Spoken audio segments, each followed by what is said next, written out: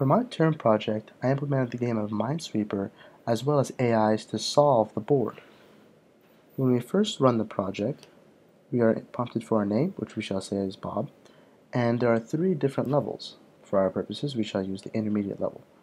And at the beginning of each game, a help screen is displayed that contains a history of Minesweeper as well as an overview of the game, such as the controls and the different levels of AIs. And when we start the game, we'll notice that it looks exactly like a Minesweeper and it plays the exact same way. There are still mines, there is a recursive flood, flood fill that reveals as much of the board as possible, and we can still place and remove mines. However, an interesting tidbit that I added is the AIs. There are three level of AIs. The first one is attempting to simulate a human who has never seen Minesweeper before and is simply just guessing everywhere and has no idea what it's doing. This one is doing exactly what it's supposed to do as a human that has never played AI. Just randomly guess and die. You cannot win by randomly guessing, because in my version of the game, you have to flag the mines. Now, the decent Minesweeper player plays at a almost human pace. It's a bit faster, but what it's doing is what a human would do. It guesses until it can start doing calculations. So it guessed until 5% of the board was cleared, and then from there, it started doing calculations. For example, since there's a 1 here and only one empty cell, this must be a flag, and it does this type of process throughout the game. Finally, there's the godly AI. Now this one is not meant to simulate a human. This one was meant to say, how fast can we solve this? with being some, with some level of efficiency, of course.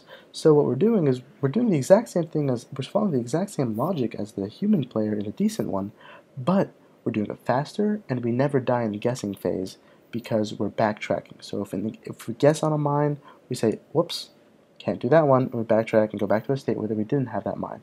Finally, another interesting thing I learned personally while coding this is you can't die in the first move. So if I click this and there was a mine there, it moves the mine to the top and then and then recalculates the board and displays the value. And if that top board, that if that top corner is filled, then it goes recursively moves to the right, to the right, to the right, etc. And of course, like any other game, click the smiley face to restart. There's a scoreboard and there's a timer.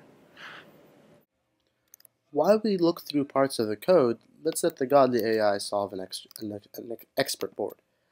Um, so the way the mines are planted throughout the board is by randomly selecting their coordinates and then placing them. Simple as that. However, to calculate the numbers, what we do is we use the scanGrid function. And the scanGrid function arrives at a cell and then uses the check neighbors function, another helper function, to return the number of mines surrounding that are adjacent to that cell. So for example, one there's a one here because there's one there was one mine next to it. So we put a one there. And uh, as you can see, uh, the, expert, the expert board was finished pretty quickly by the godly AI.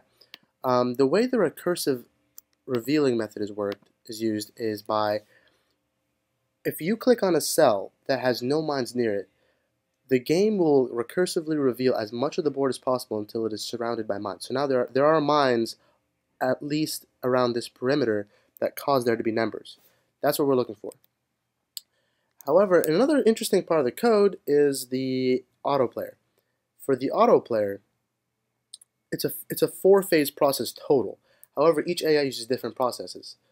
The first AI, which is kind of the stupid AI, um, it plays just in the guessing phase. The guessing phase simply randomly chooses where to guess, like, like so, so I died because randomly guessing. However, the other two phases actually use calculations. And the way the calculations work, if I can get, for example here, phase 2 what this does is as it's randomly choosing where to calculate, it lands at this cell. It says, oh look, there's one flag. There must there's one empty cell, so I'll flag that. And then and then after that, we can use phase three to remove. For example, now that we know this is a mine, we know this can't be a mine, this can't be a mine, this can't be a mine, because each one of these ones have had their one sat have had their one mine satisfied. That's what phase three does. And phase four is simply the closure. It, after 90% of the flat the mines have been found, phase four goes through and completely finishes off the board because we don't want it to take forever randomly choosing. And that's how this game works. And there's other parts of the code that are used. For example, Python image library is used to convert JPEGs to GIFs for Python, and EasyGUI is used as well for the user interface.